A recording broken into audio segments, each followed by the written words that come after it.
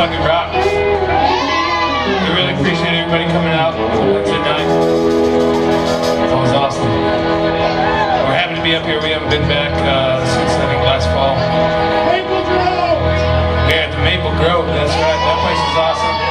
Some of their crews here tonight, Nick's here. Thank you guys so much.